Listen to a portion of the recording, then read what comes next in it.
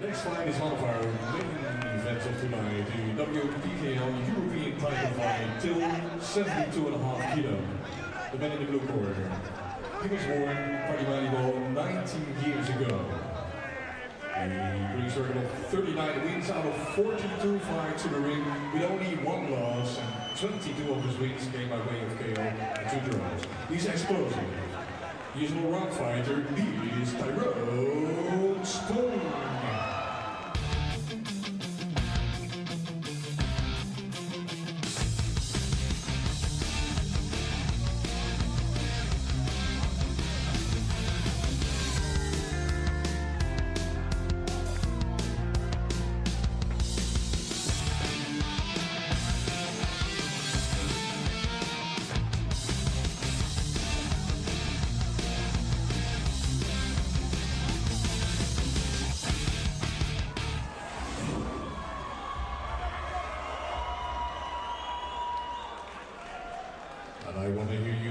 You for explosive all-round fighter, Tyrone.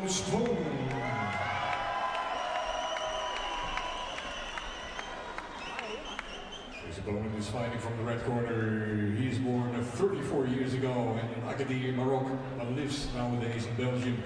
With a record of 59 fights, 50 wins, 8 losses and 1 draw, and 25 of his wins came by way of KO. His best fight was against the Thai, Chang Chanoy.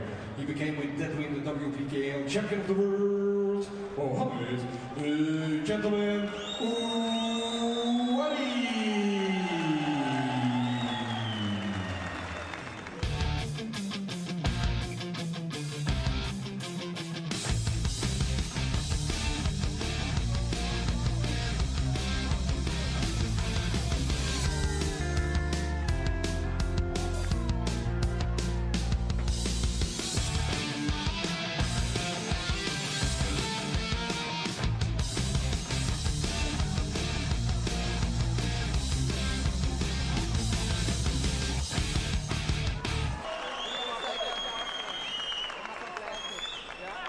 The judges for this European title fight from Belgium, Mr. Luc Janssen.